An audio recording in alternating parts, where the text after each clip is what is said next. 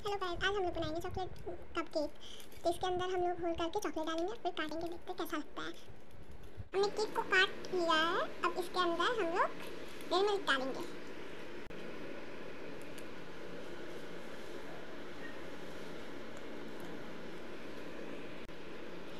हम लोग इसको अच्छे से डेकोरेट भी कर देंगे।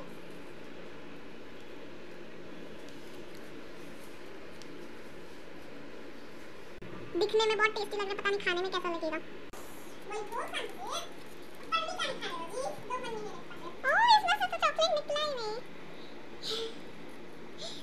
वाह निकल रहा है। Very tasty